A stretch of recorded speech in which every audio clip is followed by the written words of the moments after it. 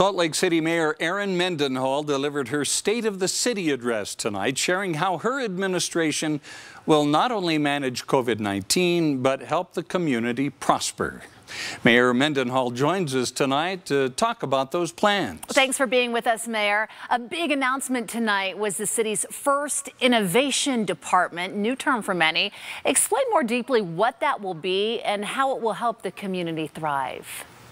Sure. I don't think it's far from anyone's characterization of government to say that government is very siloed, generally speaking, and it's not necessarily a dynamic and a flexible, collaborative environment.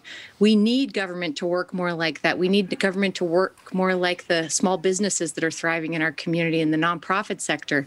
And the innovation department is a way for us to intentionally bring comfort with change, basically, to the table. So we're going to be looking at how we function and how we can function better within the city among departments, but also how the city can break down barriers that currently keep some of our residents from being able to comfortably access, easily access, or even have the language skills to access Salt Lake City government.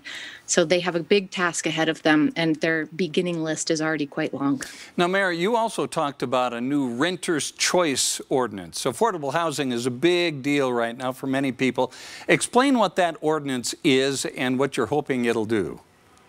Yeah, we're still working on it. We're working with folks in the rental uh, industry in the state of Utah to make sure that we get it as right as we can when we bring it to the city council. But even when we create affordable housing, sometimes the biggest hurdle is just having enough cash in hand to put that deposit down in addition to your month's first month's rent, perhaps your first and month's last month's rent in addition to the deposit.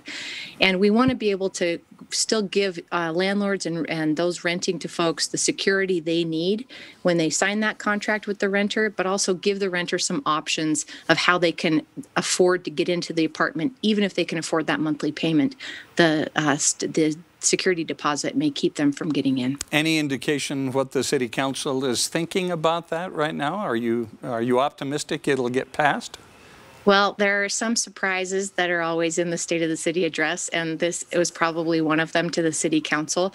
But I know the City Council, I come from the City Council, and I go to all their meetings.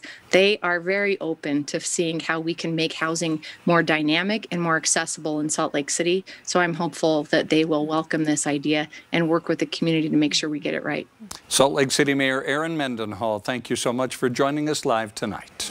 Thanks for having me. Yeah, thanks, Mayor.